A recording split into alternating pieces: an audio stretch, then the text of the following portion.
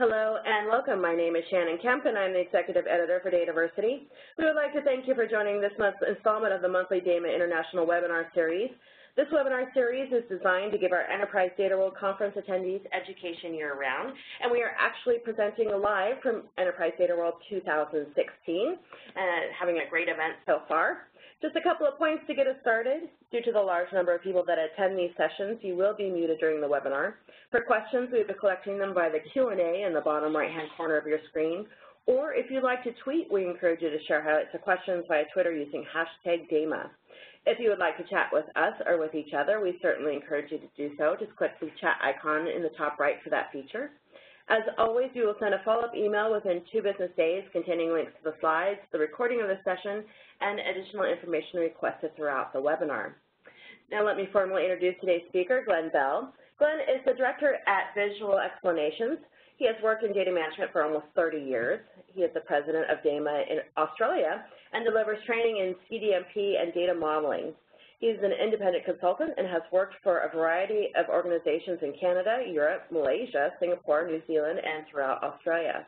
He holds a Master of Business Information Technology Management from the University of Technology, Sydney, and a Bachelor of Science Computing and Mathematics from the University of Queensland.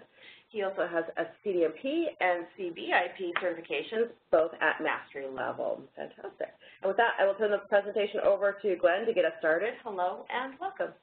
Thank you, Shannon. So today we're going to be um, drawing on my experiences with a federal government client in Australia where they needed to um, integrate data from different sources and needed to do that in a very controlled fashion.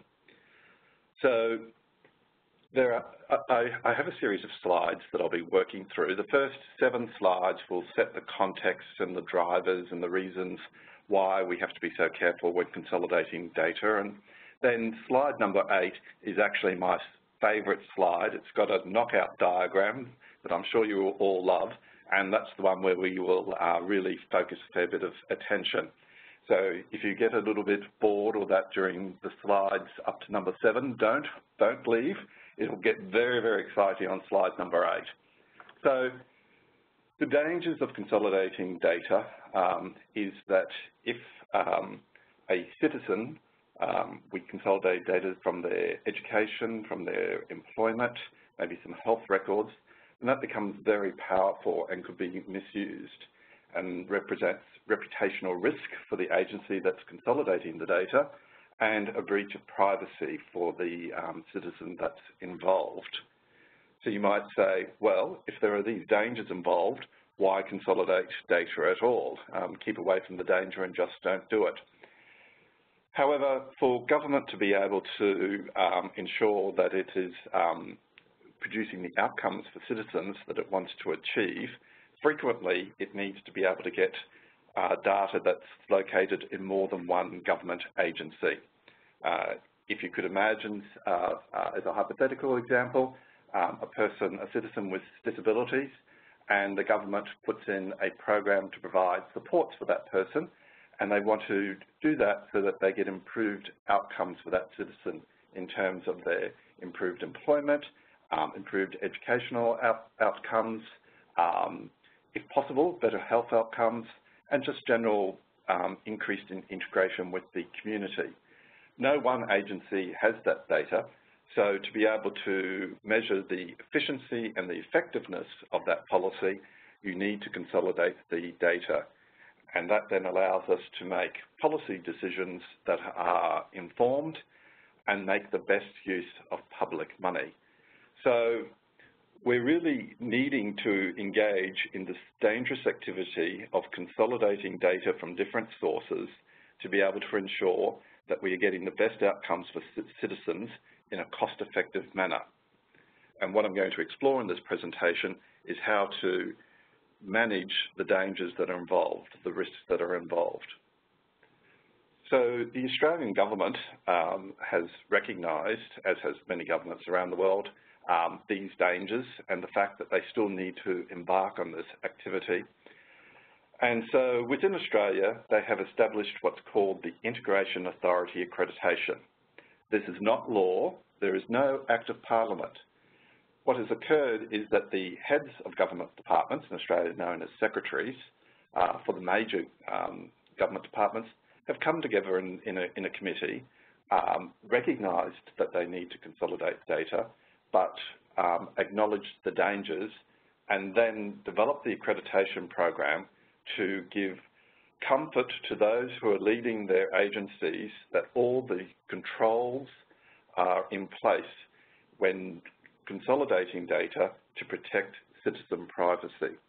So um, I'm going to be stepping you through an example of a um, Integration Authority accreditation application submission. Uh, and in essence, um, key elements include having people who are doing the consolidating work performing different roles, and those roles then give you different access to the data at various stages along the integration path. I'll also, um, um, the implementation of this can be done in either a cheap and manual way, and my experience with um, this government agency was the cheap and manual approach. So we would have paper-based logs with um, managers um, physically sitting in the room when people were performing various roles and ensuring as a check that nothing wrong, bad happened.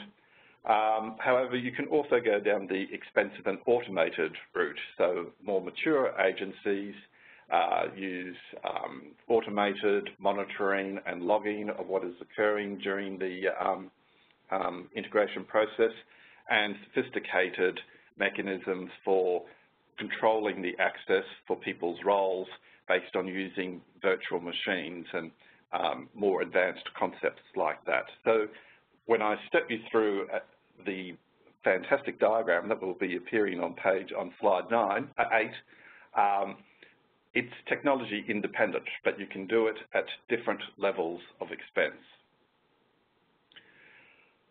So we've discussed the dangers that are involved, but the need to still consolidate um, data. And so how do you go about it? Well, essentially there's a whole set of policies and procedures that surround the consolidating of data if you were to get the integration accreditation to give comfort to, to this agency that things are being done properly and auditability. auditability. Um, there will be different roles for loading, separating, linking and analysing the data and my diagram on page on slide 8 will highlight that. There's also costs that are involved. There's um, increased audit resources, both internal and external, for ensuring that data is secure and the um, policies are being followed. And even in the cheap and cheerful approach, you still have to do work around software.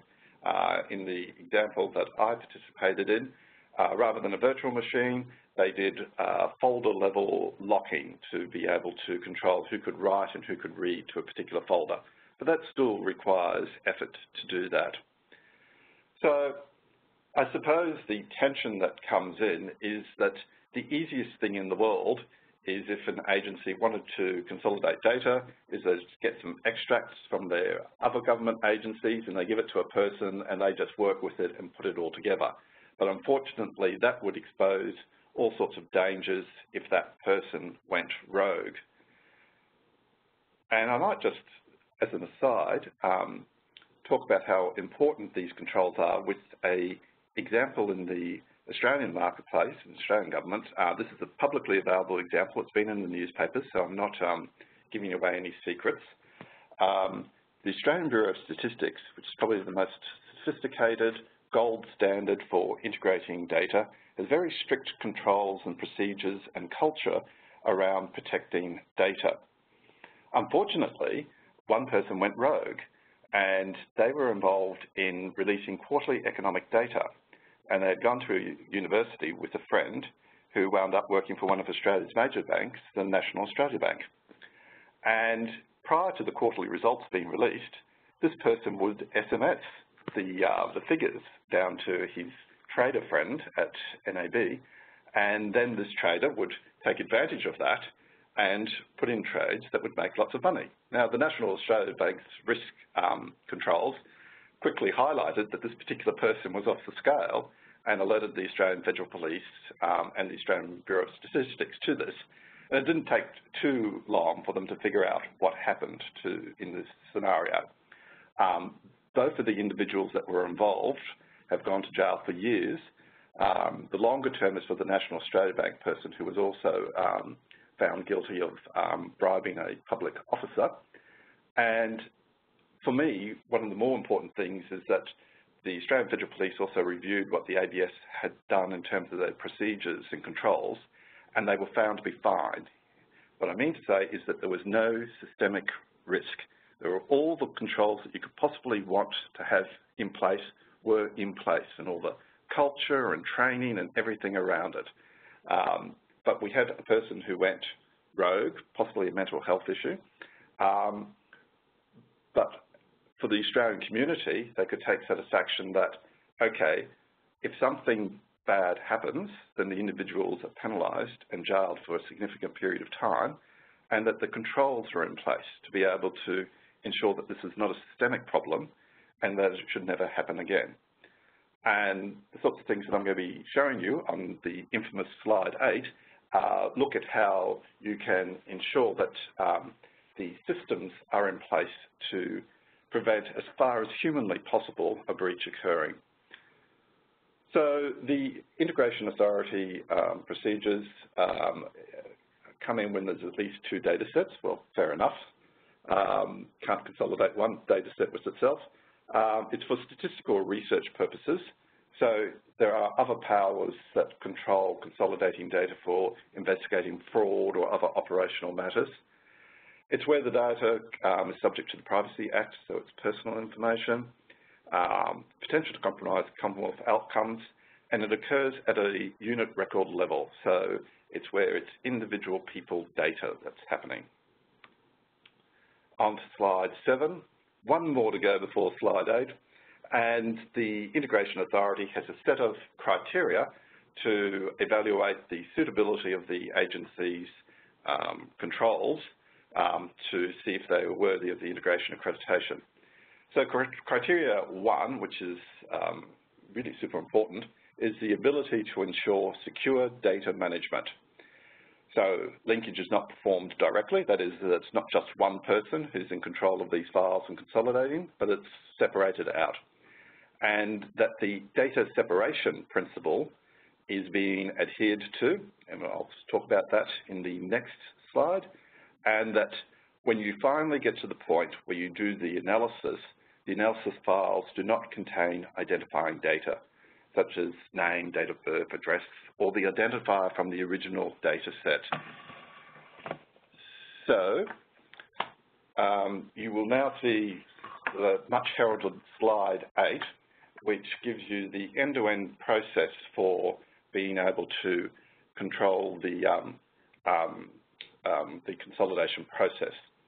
So you will see that there are three large boxes, um, the shaded boxes that form the, back, the background, and they are labeled the librarian, the linker, and the analytic. Um, these are the roles that are performed, and a person uh, they could be different people doing these roles, or if it's the same person, they can only be in the role at one point in time. Um, so the uh, so we'll start off with the librarian role. Uh, actually, no, I'll tell you what, I'll just give you a brief overview and then I will drill down, as John Zachman would say, in excruciating levels of detail to make sure everything's perfectly clear.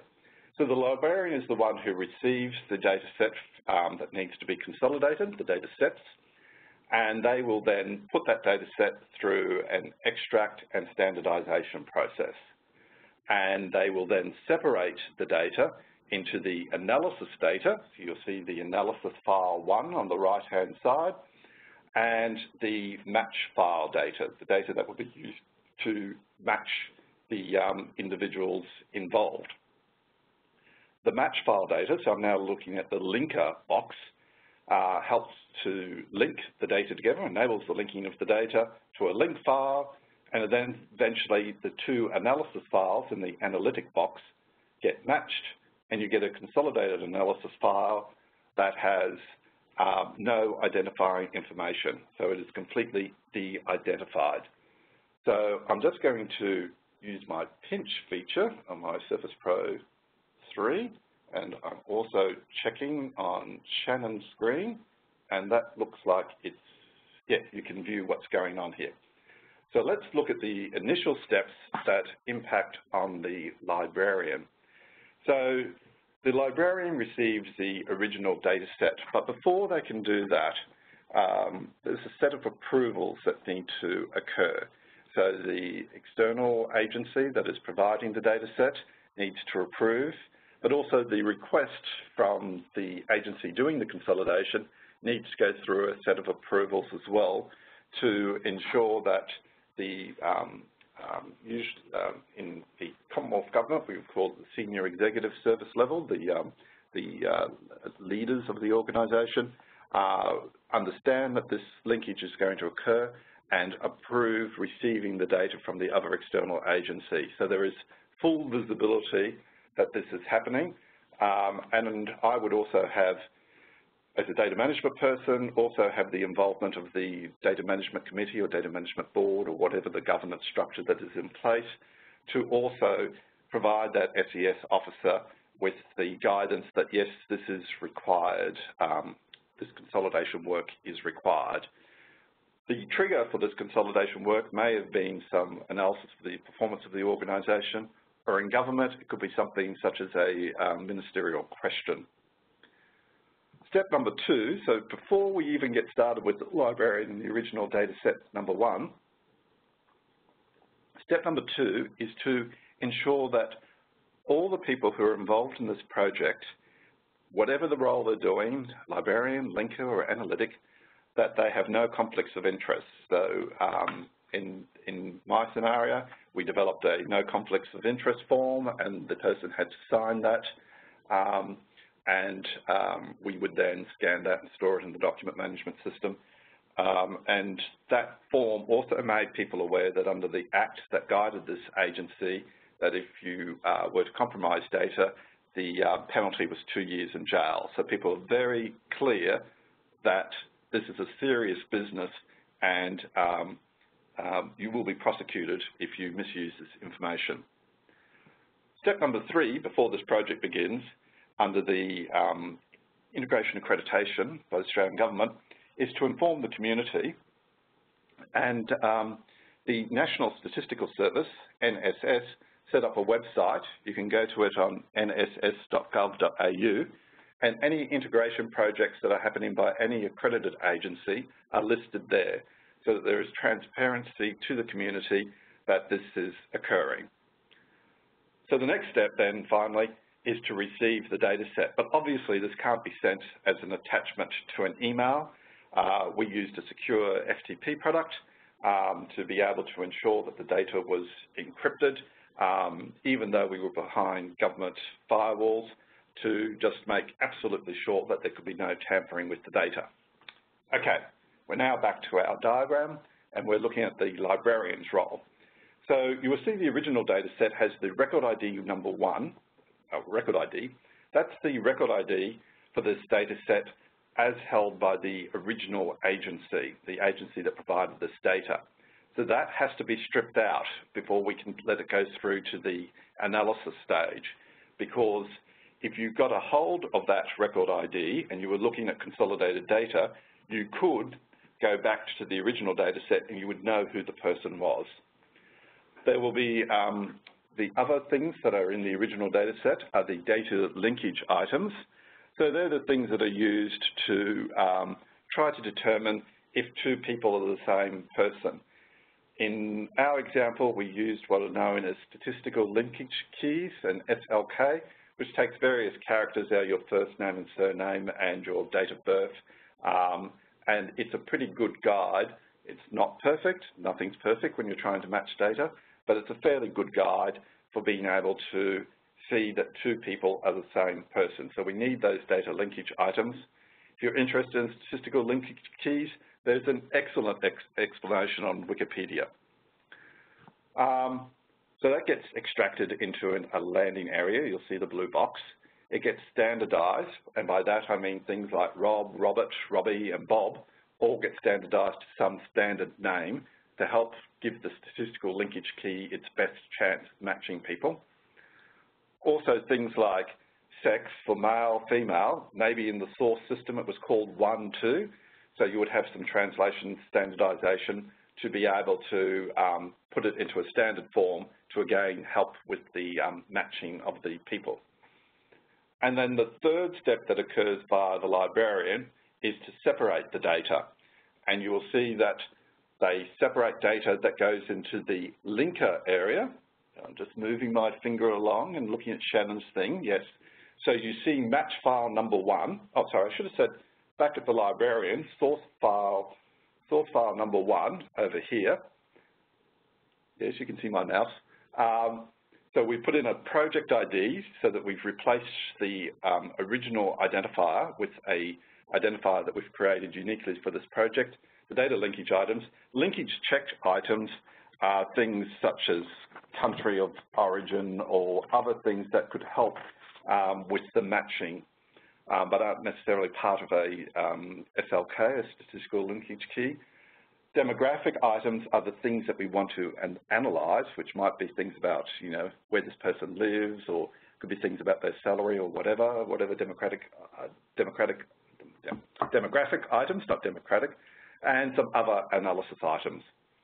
Now in the match file, so this is this part here, so when the person performing the role of the librarian separates the data and creates the match file, in our example, we used folder level locking, so that librarian could only write to the match file, but they could not read the match file, uh, read anything that's in that folder where that match file goes into.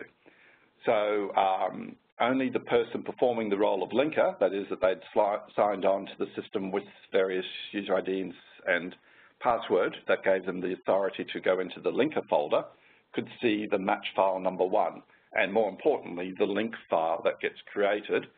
And I'll just show you the other thing that comes out of the separate is that we go over to the analytic um, area and you'll see analysis file number one, which is where the, uh, which just has the demographic items, the analysis items. So the match file has stuff that's for, for matching, and the analysis file has stuff for um, performing analysis, demographic analytical type items. Again, that analysis file, the person who is the librarian can only, can only write to that folder, that's the analytic folder, uh, but they can't read from it. Because if they could, they'd be able to see the consolidated analysis file, which you'll see down here, and that would then compromise things because they've got, the librarian has access to the original file. So match file, so we've got the analysis person. So match file number one has been created. It's got a project ID, it's got data linkage items, it's got linkage check items uh, to help try to link people together. Then we receive a second data set, and the librarian follows the same process of extracting, standardizing, getting rid of the record identifier, putting in a project identifier, this is project ID number two, uh, linkage items and demographic items, and they do the same thing. They separate the data into data that will be used for matching and for um, analysis. So you can see that they've got, we've got a match file here, and then over on the purple bit, a um, over down here, we've got a um, demographic items. All right. So then the person who is performing the role of the linker comes in they access their folder. They have been provided with match file one and match file two. They don't know who these people, um, well, they don't know any demographic sort of information or analysis information about these people. They only have the information that would be used for linking people, for identifying who's who. And so they run the link process, generating statistical linkage keys and map mapping people up, and create what's called the link file. So now we have project ID number one, project ID number two, and we created a link ID. But we're saying we've allocated a, a random number to this person here and a random number to this person over here from two different data sets. They're the same person and they're linked together. That then takes us through to the analysis portion. So the person doing the linker role can then write that, uh, that link file into the analytics section but they can't read anything in the analytics section. The person who is then doing the analytic part then runs a match program based on the link file to match the demographic stuff to produce a consolidated analysis file that is de-identified but has rich information about people, but it is confidential, well, it hasn't yet been confidentialized, but it is de-identified. That's the thrust of what I'm talking about, but I will just, um, and I'm expecting a few questions around slide number eight, but I'll just finish off the slide presentation um, and then open it up for questions. Shannon, are we getting a few questions through? Oh, go ahead. Yeah, go ahead. Right. Okay, so page down. All right. So criterion one also goes on to um, uh, having audit programs in to ensure that data security is, is being uh, performed, that the um, people who are performing the roles of the of the librarian, the linker, and the analytics are um, being subjected to police checks, that the physical security on the premises where this data is being held um, is in place. So um, with um, key cards and uh, those sorts of mechanisms. So it's not much good having all these um, sign in, sign out, and all that sort of stuff if somebody could just come in and steal the computer that the data is, is on um, that the Internet gateway security, is this data accessible from the Internet? If so, what sort of securities are in place? And the, that there's an information security policy in place um, in the Australian Federal Government, it's called the Information Security Manual, the ISM. And then there were a set of other criteria um, about um, controls over external data access. So if you were to publish this uh, data, uh, not only does it need to be de-identified, which is the natural process of the um, of this activity, but it also needs to be confidentialized, which means that even though we don't know who it is, if the data related to a small country town and the person earned a million dollars a year and they had HIV AIDS, then people in that community could pretty much work out who it is. So there's a, a process that statisticians use to perturb the data to avoid that from happening criteria number three, um, availability of appropriate skills. So the people who are doing this work need to um, um, have the experience and the expertise to do that. Criteria four is about the technical capability, so that there is the software and hardware and other things in place to make it um, happen. Number five is a lack of conflict of interest, and again, there were forms that people would fill in. Number six, that the culture and values, so uh, when you were onboarded, that there was training in place and there were records that you'd been through the training, um, uh, and other evidence that there was culture and values about confidentializing and protecting information. Criterion seven is transparency of operations, which was things like publishing this, um, the, the details about this project, this um, integration project on the internet and the existence of, of appropriate governance and institutional frameworks. Um, in our example, not surprisingly, we would have um, data management committees and our, we would follow as our institutional framework the DM-BOK wheel. Um, oh, and um, that was it. And I'm at 1127. So that was the so that was the um, the essence of the presentation. It is about um, managing the dangers about data being consolidating, making sure that there are controls in place to protect that data, and I wanted to give you a specific example about how you could go about doing that. Sure, and we have um, questions coming in already, uh, certainly about slide number, the infamous slide number eight. Yes. okay, um, I expected that to happen. so just a reminder to everyone, um, before we get started on those questions, I will be sending a follow-up email within two business days with links to the slides, um, so you can have a copy of slide number eight and uh, as well as a recording of the webinar. So um, one questioner has three related questions. Let me read all three yeah. of them at once, and then we can kind of parse it out a little bit here. Um, uh, so you showed flowing in one direction, left to right. And you also implement a right to left process so that an authorized person can go back up the flow to see where errors may occur. And I can read it again too. No, no, I, I understand yeah. the, di the diagram implies, a large number. Yeah. Uh, uh, the second question is the diagram implies large number of changes to data during the workflow. Mm -hmm. Do you attach metadata to data um, to document the, the provenance of the, of the data. It, the thought being that some chain of custody of data needs to be documented in some manner. You mentioned that. And then the third part of that question is you mentioned the folder level is locking. Yeah. Uh, is metadata attached to the folder? Is that the lowest level of tracking that your that um, your control process implements? Yeah, yeah, yeah. Okay, great questions. All right. So yes, you're right. So the diagram goes um, left to right, and um, the questioner has pointed out, well, what if you get to the analysis stage and clearly um, something is wrong? So we looked, so there are trade-offs, aren't there? So we did consider that as things move from the librarian to the linker, that we would delete the intermediary files, and similarly, when it went from the linker to the analytic stage, that we would delete those files.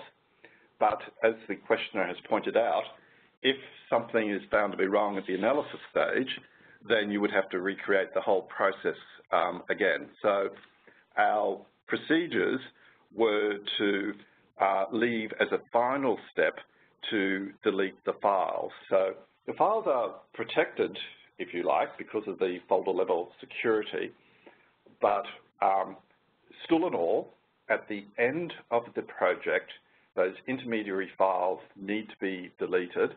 Otherwise, if they're just sitting there hanging around, um, they're, they're vulnerable and um, a breach could occur. Um, so I hope I've answered that question sufficiently. Um, the next question was about changes to the data. So we don't actually change any of the information about the person in terms of their demographics and that. We do generate an SL key, SLK, uh, statistical linkage key. Um, this is all done as part of one project. So you sort of run it through. We have um, we have metadata in the in the sense that we have a paper form that is filled in by each person as they do each step um, as well as the signature of the manager who's watching each of these people doing these steps and the start time and the end time um, and signatures as, as declarations that this is what occurred. So that was our sort of cheap manual approach, if you like. Obviously, you can do something much more sophisticated with monitoring and logging and keeping um, uh, data lineage um, um, metadata in place but we did it as a paper-based form that went step one, step two, step three with signatures and dates and times. Yeah, still metadata, it's just on a piece of paper. Um, and the third question was about folder level. Um, was that our main security mechanism? And the answer is yes. However, I would emphasize that the this space that this work is carried out on is only accessible to the three roles here, the librarian, the linker, and the analytics person. So they're the only people who can get to that disk space. And then at a folder level, um, the librarian could only could write to that, read and write to their space, but they could only write to the linker and write to the analytic area. And similarly, the linker could read their, their, their linker folder, but only write to the analytic. Um, and then the analytic person could only read in the analytic folder. So um, um, obviously, you can spend more money. You can do sophisticated things, which other agencies do around the area of virtual machines and that. But, um, you know, we've been, in this project, we were, in this, setting this up, we were subjected to external audits and we were deemed to be satisfactory. So um, what's my answer to that question? Fabulous. Um, you know, metadata has become such a hot topic. Mm-hmm. Um, it, we get questions in every webinar, no matter what the topic is, yes. related to metadata. Um, anything you want to expand on that, on just the importance of it and, and, and any additional areas it's, that played a role in this project? It's, it's absolutely crucial to this type of work um, because we're going to be subject to continual audits. We're undertaking activity that is very dangerous. We are consolidating data about citizens. And so we are continually subjected to audits. And the only way that the auditor can be satisfied is if we have the metadata in place to be able to support that, yes, we followed this process. We did what was here, and it's an approved process. Um, otherwise, otherwise, what have you got? You've got this process, you've got this lovely diagram, slide number eight, um, but if nobody's following it, then it's a complete farce. It's a waste of time. Sure. Um, everyone's pretty quiet today. No additional questions coming in. Any, anything else coming in for uh, that you want to know? Just put it in the Q&A section. I'll just uh, hang out here for a couple minutes. Of course, you know, a lot of our attendees are here at the uh, conference. Anything that you're excited about, Glen, and seeing or you've learned so far at EDW? Uh, yeah, so there's been some, uh, well, as always, there's been uh, great, great sessions um, happening at EDW. Um, I'm particularly interested in creating data models for NoSQL um, databases, and Dave Wells gave a great um, tutorial yesterday on that. Um, he had some very clear examples about the syntax that you would use for um, document data stores and um, how that could be modeled using a particular modeling technique.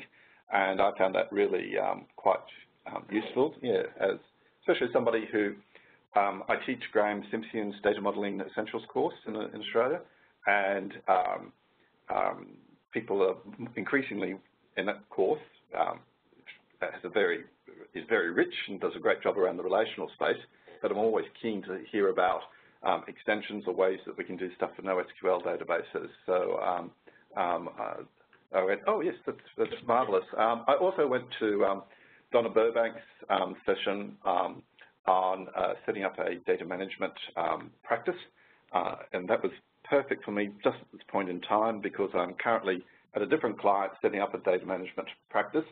Uh, so I drew a lot of comfort from the fact that I, was, I was doing the sort of things that Donna was saying, but uh, I also like the fact that I can go back to Sydney, Australia and sit down with my client and step through some of the slides in particular that um, I thought were pertinent to them and be able to say, well, look, we're in line with international best thinking. So yes. um, that sort of stuff is just just gold. I love it. Yeah, we do have a couple questions coming in, uh, more questions too on your topic. Um, uh, yeah, and, and I, we love Donna too. And uh, how long did it take to set up the library linker and analytic uh, LDCs? Look, to be honest, that was kind of the easier part of it. So when I get to, um, so I've just flicked to slide number nine, where there's all the stuff about physical security and that. So I had to demonstrate to auditors that the physical security logs were all in place, which meant I had to talk to the property security people, and I said I need a list of all the people who have access to this to this area. And of course, the property people going, we're not giving you that. And I need to be able to show the, the auditors that these, these are in place. So there were things that were um, very time-consuming, like the Internet Gateway Security. I had to find out what that was and get the proper documentation to be able to support the auditors to say, yes, this is in place, or these, this particular disk space is not being, being accessed. Um, and, you know, I had to demonstrate that our people had the appropriate skills. So I had to get their resumes, put it, put it into a format. So I, the, the, the submission itself might have been 40 pages, but it then referred to all these other supporting documents.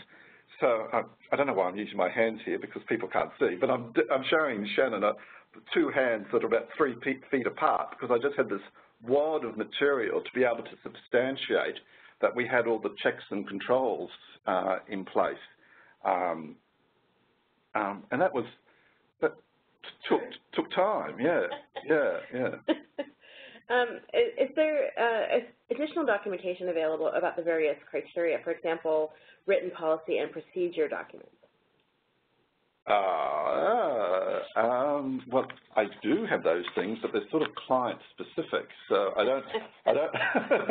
no general. I, I, I, um, I've sort of generalized as much as I can here, but if you go to the um, nss.gov.au website, um, you'll see um, um, you'll see you can find submissions that have happened from other agencies, um, uh, and uh, you can look at their submissions and you can look at the criteria that's used. However, they don't actually publish the exact policies and procedures that are used by these agencies. I suppose there is a bit of security stuff around this as well. Um, sure. Yeah.